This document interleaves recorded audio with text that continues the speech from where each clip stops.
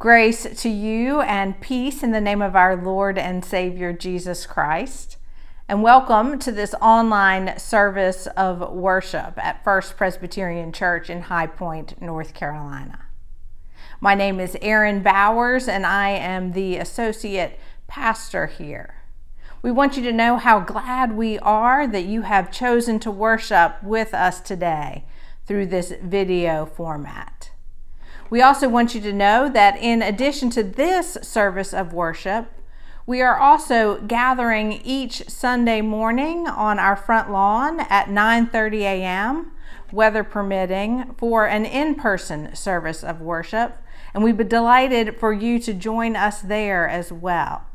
If you'd like to do that, guidelines for attending that service are available on our church website. This is the day the Lord has made. Let us rejoice and be glad in it. Come, let us worship God. Let us call ourselves to worship. Praise the Lord. Sing to the Lord a new song. Let the people of God rejoice in their Creator. Let God's people sing songs and hymns, old and new. Let them praise the Lord with voices and instruments. The Lord delights in them. Let all the saints dance for joy. Let them cry out with gladness where they rest.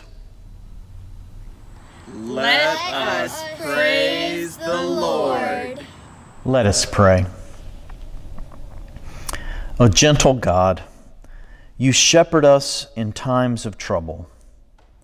When the way seems dark, you guide us safely through. When we cannot bear to slow down, you show us the wisdom of Sabbath rest. In your presence, there is life, overflowing, abundant, and free. As we rest in your goodness, teach us, O Lord, to see with your heart. Open our eyes to the world beyond our neighborhoods and to your beloved children, both near to us and far. Open our hearts to the blessed fierceness of your creation, which sustains us and yet is more powerful than we can imagine. Anoint us with your spirit of blessing, that we might be as Christ to one another in our welcome, our compassion, and our care. For it is in Christ's name that we pray. Amen.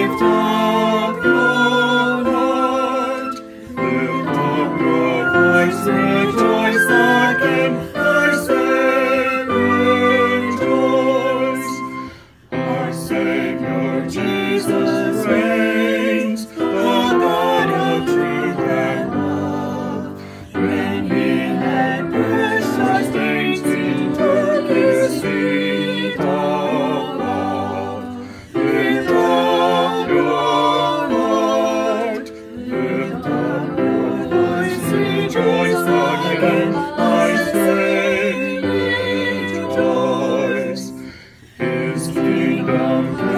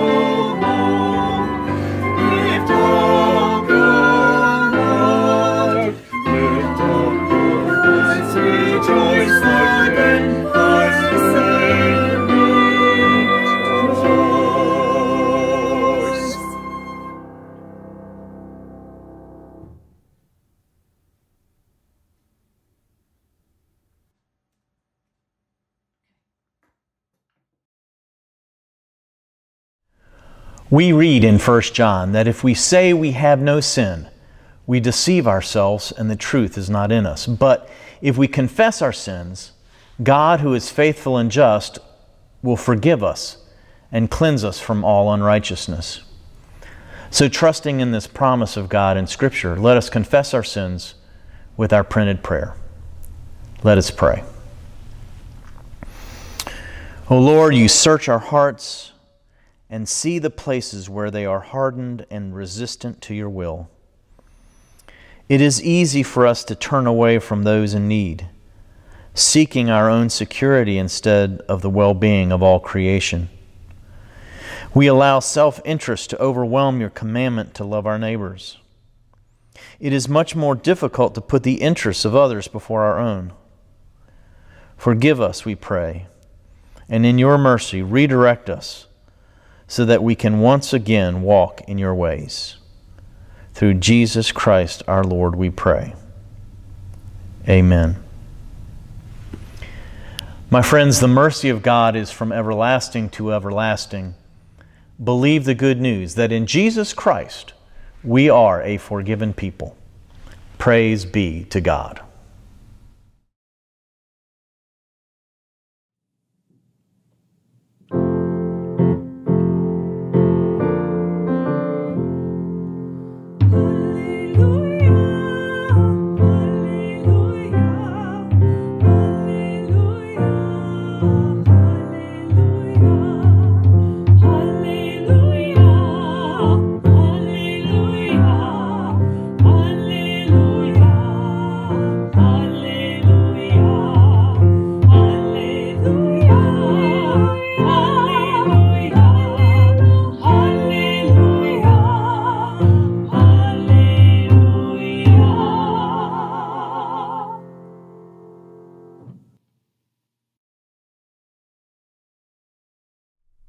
Our scripture reading today comes from Romans chapter 13, beginning with the eighth verse. Listen for the word of God. Owe no one anything except to love one another. For the one who loves another has fulfilled the law. The commandments you shall not commit adultery, you shall not murder, you shall not steal, you shall not covet and any other commandment are summed up in this word love your neighbor as yourself. Love does no wrong to a neighbor, therefore, love is the fulfilling of the law. Besides this, you know what time it is, how it is now the moment for you to wake from sleep. For salvation is nearer to us now than when we became believers. The night is far gone, the day is near. Let us then lay aside the works of darkness and put on the armor of light. Let us live honorably as in the day, not in reveling and drunkenness, not in debauchery and licentiousness, not in quarreling and jealousy. Instead, put on the Lord Jesus Christ and make no provision for the flesh to gratify its desires. This is the word of God for us, the people of God. Thanks be to God. You may or may not know much about Augustine of Hippo, also referred to as St. Augustine or St. Augustine, however you want to pronounce it. He was one of the early theologians of the church, a pretty foundational theologian for what much of the Christian church believes today. He lived in the fourth century and is famous for works like The City of God and for his personal spiritual autobiography, which we often simply call the Confessions. I bring up Augustine today and particularly his confessions because a few verses from our passage from Romans that we read this morning turned out to be life changing for Augustine. Augustine's confessions tells the story of someone who ran from God for many years even though God relentlessly pursued him. After a period of agonizing struggle, Augustine found himself alone in a garden, While alone, he heard the voice of children saying in a sing songy way, Pick it up, read it, pick it up, read it. Now, I have to admit that sounds a little creepy to me, but Augustine, living in the fourth century, hadn't seen movies like The Shining, so maybe it sounded a little sweeter to his ears. And so he did just that. This voice drove him to Scripture, and when he opened up the Bible, he read the last two verses that we read today, Romans 13, 13 and 14. Let us live honorably as in the day, not in reveling and drunkenness, not in debauchery and licentiousness, not in quarreling and jealousy. Instead, put on the Lord Jesus Christ and make no provision for the flesh to gratify its desires. This was probably the single most transformational moment in Augustine's life. And as he tells the story of his own conversion, he also relates the story of Anthony the Great's conversion, another early church theologian, explaining how Anthony had read in the Gospel of Matthew Go, sell everything you have and give it to the poor, and you will have treasure in heaven, and come follow me. And that Anthony was moved by this teaching and it changed his life forever. Which just goes to show that Scripture can be a real kick in the pants if we actually read it and take it to heart. It can wake us up out of a fog, shake us up, transform our lives forever. I mean, if we want to be transformed. When Augustine read those two verses, he committed himself to the life of faith such that he abandoned any plans to marry and took on the celibate life, which is not what I am suggesting for us. But I think if we take a look at the whole of the passage that we read today, there may be some things for us to consider. Paul begins in the text we read today by talking about love of neighbor and how that fulfills the law. We remember that Jesus has said the same thing, but Jesus includes the love of God as well. Jesus says that the love of God and the love of neighbor sums up all of the law. Paul knows this teaching, but emphasizes love of neighbor here. My sense is that love of neighbor is most important for Paul because Paul has just spent the entire book of Romans explaining how we cannot do anything to earn God's love. But then I think here, towards the end of the book, he wants to make sure his readers understand that this doesn't mean that they are off the hook regarding the second table of the law. It is God's love that ought to drive us to love our neighbor. And then he seems to say all of this with a sense of urgency. Wake up, he says. It's daytime. Get dressed, that is, put on Christ. Salvation is near. Paul uses this image of daytime approaching, meaning that it is time to wake up. For those who lived in the first century, a time when there were no electric lights, wasting daylight was nothing to laugh at. If daytime was approaching, it was time to get up. They, those were the only hours you had for working. No more laying around, no more sleepwalking through your day, no more groggy mornings before coffee. Wake up, Paul says. Now, you and I both know what it is to feel groggy. That feeling when you are not quite awake. That feeling after you haven't had a good night's sleep when you've been restless all night and now you want to rest during the day. We know what it is to walk around in a haze, unable to focus on much except for what's in front of you. Honestly, I imagine many of us feel like that most of the time right now. Some of us may feel like we are in a fog because we are depressed. During this pandemic, instances of depression are on the rise.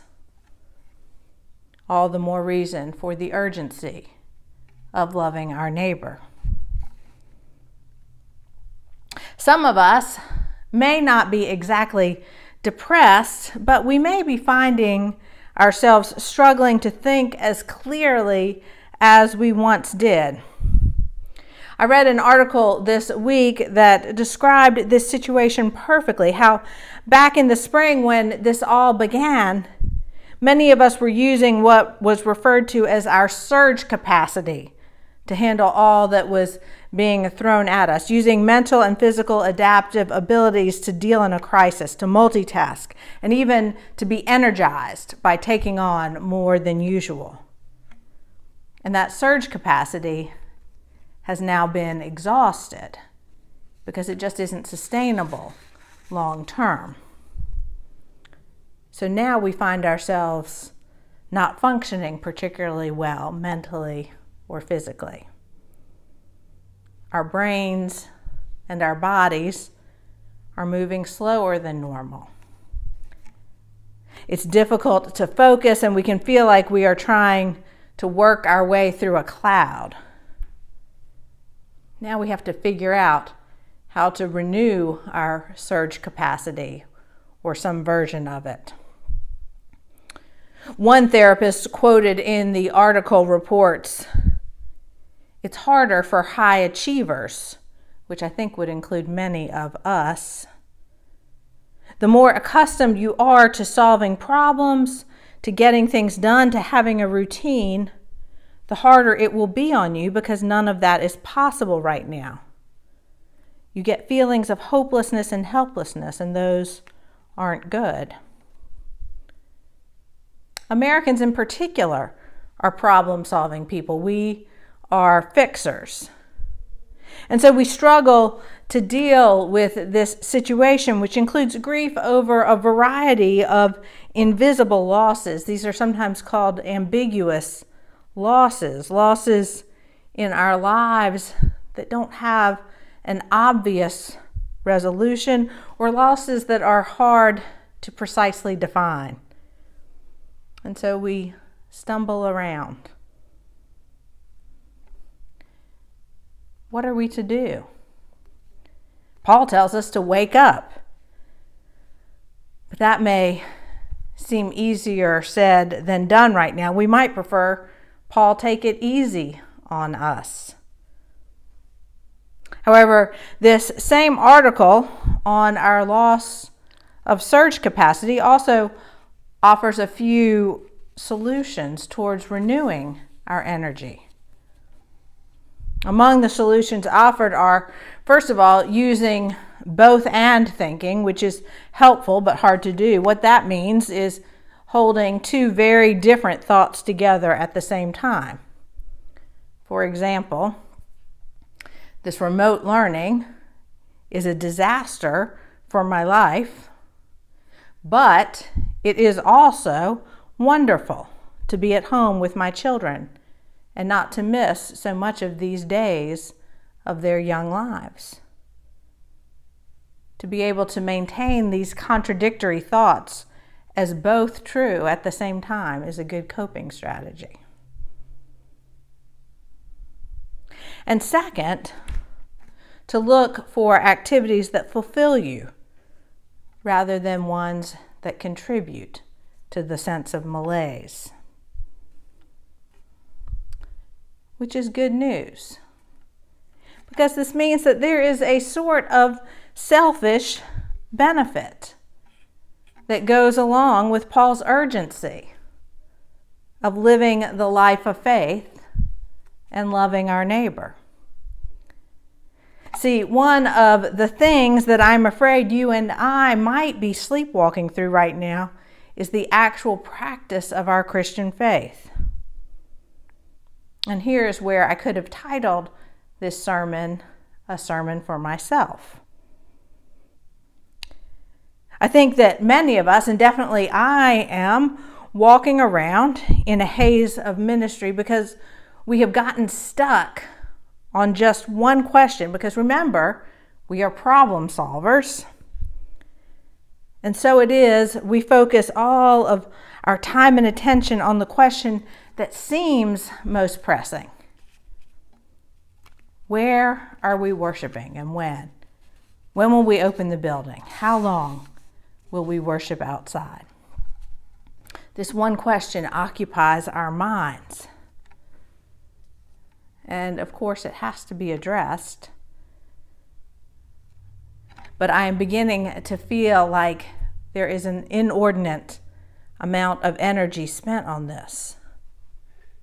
I know for my own part, there was a period of time when I literally thought about nothing else other than this. And it doesn't help that everyone has an opinion, which is what makes me suspect it is what so many of us are thinking about. And the more I think about this one problem, the less alert I am, the less awake I am to all the work that Jesus has given us to do as the practice of our faith. Now, let me repeat again. Of course, we need to make some decisions about where we worship and when. But we also have faithful people working on that a small task group and a session. So, in the meantime, that one question cannot be all we are about as a church. That cannot be the entire extent of our ministry, making that one decision. Because you and I don't need to be in any one particular place to participate in God's work in the world. Paul tells us we've got to wake up and put on Christ. We cannot wait until things are back to normal to act like Christians. We have to be Christians, not just when things are normal, but when they are abnormal too. There's no time to wait. Salvation is nearer now than it was when we first believed, says Paul. We have to be Christians in all circumstances. And so I am very thankful for the ways that I have seen our church at work in these unusual times, for the ways you all are using your creativity to find ways to continue to love God and neighbor, even when things aren't the same. For the great success of our food collection and school supply drive throughs for the ways that our children and youth are engaging online with their leaders. I'm thinking especially of the great success of the creation kits this summer. For those of you who simply weren't tech savvy before this time, but are figuring it out so that you can be part of meetings or part of small groups with others. I'm thankful for those of you who have found ways to meet outside with groups. I'm thankful for those of you who are faithfully caring for one another with cards and phone calls and dropping off food and other treats for one another. It's good to see God's work in the world continue with creativity. Paul encourages the people of Rome to whom he writes that there is an urgency to the faith because he says salvation is nearer now than when you first believed. And he says the same words to us salvation is near. My sense is that when Paul uses that phrase, it is loaded with meaning. And a whole other sermon could be preached on that. Suffice it to say that when Paul says salvation is near, he understood that God's kingdom is always something that is not here yet, but it is also always something that is at hand. That he wanted the Romans to live already like kingdom people as they awaited the inbreaking of the kingdom. And so we too ought to consider the urgency of living like this is the case. Maybe you've seen the bumper stickers. Jesus is coming. Look busy. It's worth thinking about for a minute. Were Jesus to come back today, would we like him to find us spending all of our time puzzling over when and where we will worship? Or would we like to be found so busy participating in the mission He's given us to love and serve our neighbor? I get that we are tired. Believe me, I am tired of all of this. And it is hard to live with the ambiguity. It is hard not to feel like we are in a daze, sleepwalking our way through life. It is hard to deal with restless nights. It is hard not to put our Christianity on the shelf for a year, just as we have so many other things, waiting for normalcy to return. But my sense is not only is it our calling to love our neighbor, and so we should, but also that it will help us if we do. To do what Paul is asking us to do, waking up and putting on Christ with this kind of urgency probably means taking off some other things. We cannot do everything at once. To do what we are called to do probably means saying no to some other things. But that may well work out for our good. If we are busy serving our neighbor, we may not have as much time to worry and fret about things that are out of our control. And that may serve us well. Finally, let's return to St. Augustine, who has some closing words for us. Looking again to his confessions one of his most famous quotes, which is really a prayer goes like this You have made us for yourself, and our hearts are restless until they rest in you. When we are fulfilling the purpose for which God has made us, we won't be restless.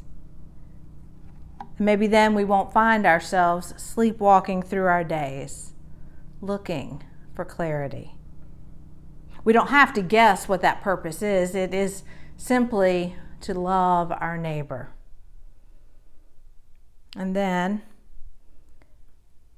when you and I have lived a full, wide awake day, we can rest well at night. Our hearts are restless until they find their rest in you. Amen. Would you join me in prayer? Loving God, we come to you in gratitude for your love, which is always present to us. In the stillness of this moment, we remember with thanksgiving the times in our lives when your love has enabled us to rise to our better selves. We thank you for the gift of your Son who came that we might know what perfect love looks like. We also remember the times when we have acted in anger rather than in love. We recall with remorse when our patience has been less than perfect and our behavior has been childish. Forgive us for the occasions when we have loved things and used people and when we have failed to make love a priority in our lives. Breathe in us new life, instilling us with enthusiasm for the opportunities we have to begin again. Empowered by your love for us, O God, let us unite ourselves with all of life in the example of Jesus, the Lord of our lives. Help us to be intentional in the way we interact with one another so that there can be no doubt as to whom we serve. And now we pause for a moment to remember those in our community and in our families who are in special need of your healing touch. Those we now name before you in the silence of our hearts. Grant comfort and healing to all who are hurting this day. And may you show us how we can share the loving presence of Christ to all in need.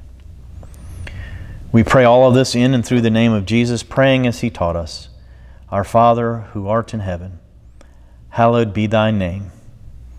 Thy kingdom come, thy will be done, on earth as it is in heaven. Give us this day our daily bread and forgive us our debts as we forgive our debtors. And lead us not into temptation, but deliver us from evil. For thine is the kingdom, and the power, and the glory forever. Amen.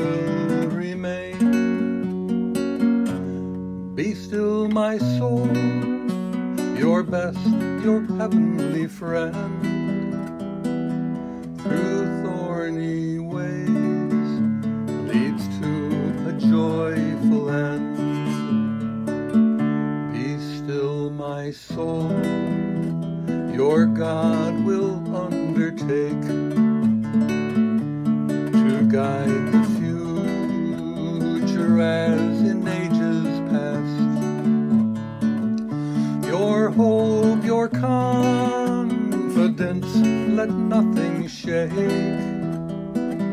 All now mysterious shall be bright at last. Be still, my soul, the waves and wind still know.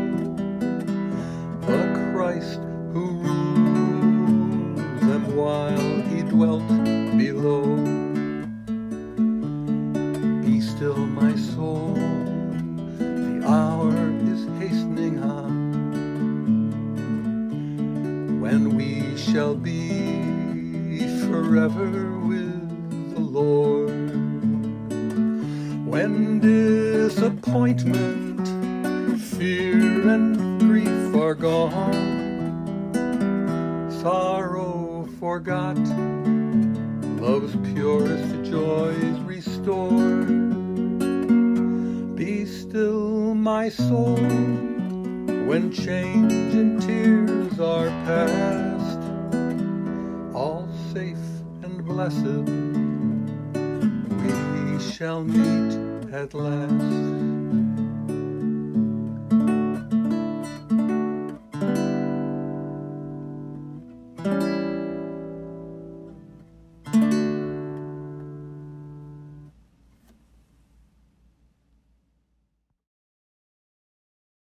We read in Malachi the following. Bring the full tithe into the storehouse, so that there may be food in my house, and thus put me to the test, says the Lord of hosts. See if I will not open the windows of heaven for you and pour down for you an overflowing blessing.